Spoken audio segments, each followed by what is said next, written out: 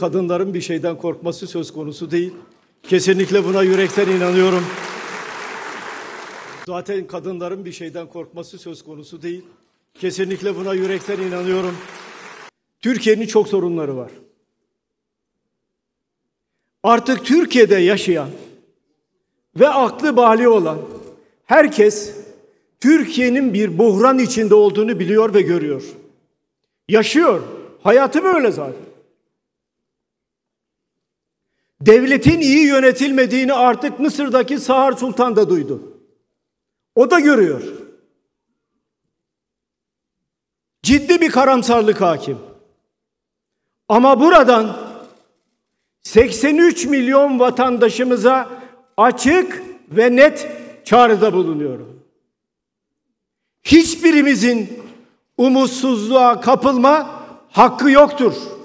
Beraber, birlikte 83 milyon olarak Türkiye'yi aydınlığa çıkarmak hepimizin namus borcudur. Bunu yapacağız. Birlikte yapacağız.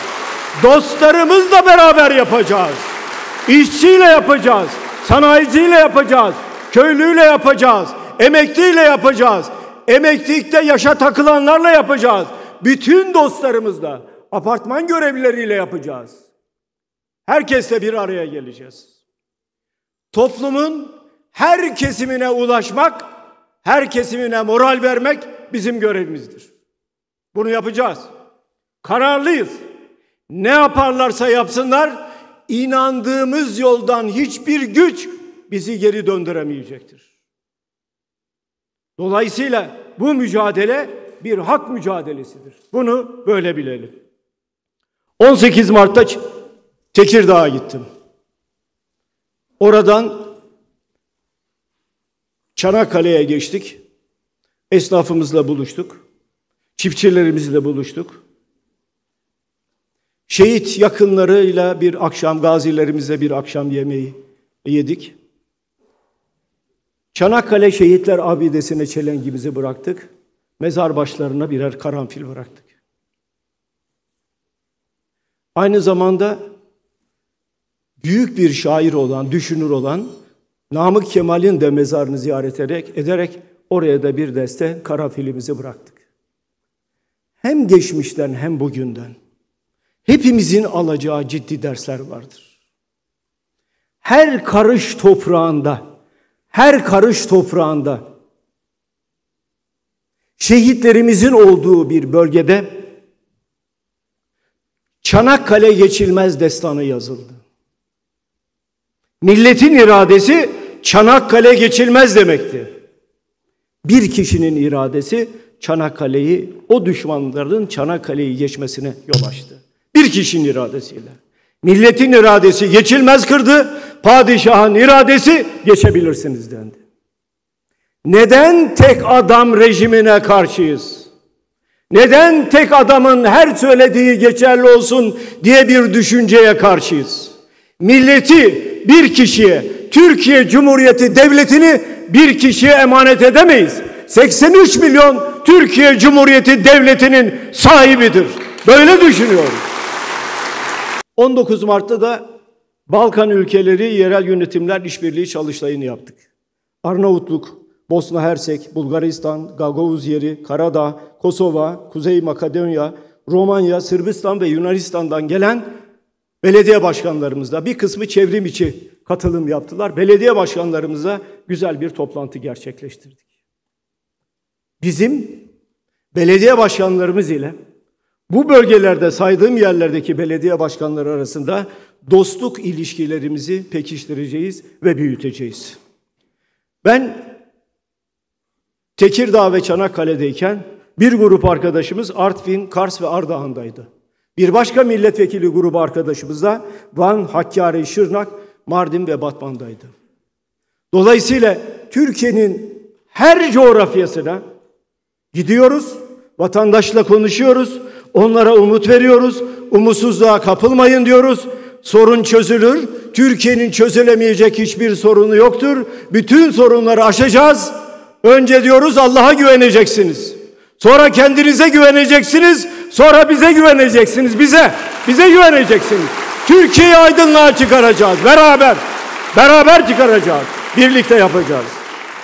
Şanlıurfa'ya da gitti arkadaşlarımızın bazıları. Bir grup milletvekili arkadaşımız da oraya gitti. Şanlıurfa, büyükşehir aynı zamanda. Bir süredir çiftçiye elektrik ve su verilmiyordu. CHP milletvekilleri gidince elektrik ve su vermeye başladılar. Bu güzel bir şey. Umarım kesmezler bir daha. Su birliklerinin, sulama birliklerinin fiyatları çok yüksek. Çiftçi bundan büyük şikayet ediyor.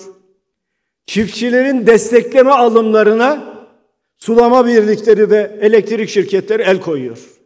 Sözde devlet teşvik veriyor ama onlar gelip bu teşviği alıyorlar.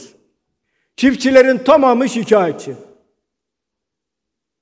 Gübre alıyoruz dolarla. Fide alıyoruz dolarla. Tohum alıyoruz dolarla. İlaç alıyoruz dolarla. Sürekli zam. Niye? Efendim dolar yükseldi. Biz de fiyatı yükseltmek zorundayız. Ama diyor ki çiftçi benim sattığımda Türk lirasıyla onda, onda da alıcı bulamıyorum. Zarar ediyorum diyor. Urfalı çiftçi de beni dinlesin. Urfalı kardeşlerim de beni dinlesin. Uzun yıllardır bir partiye koşulsuz oy verdiniz. AK Parti'ye oy verdiniz. E nasıl şimdi Urfa? O şanlı Urfa nasıl? Sahipsiz değil mi? Şanlıurfa sahipsizse Türkiye sahipsiz demektir. Şanlıurfa'da sorun varsa Türkiye'de sorun var demektir. Haran oradadır, Haran hepimizin iftiharıdır. Dolayısıyla ne Urfa sahipsizdir ne Türkiye sahipsizdir.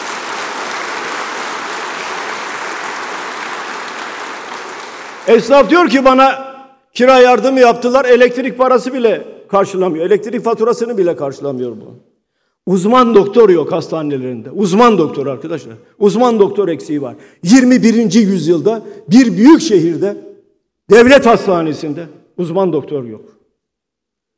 Şehir hastanesinde beş kez temeli atılmış hala inşaat devam ediyor.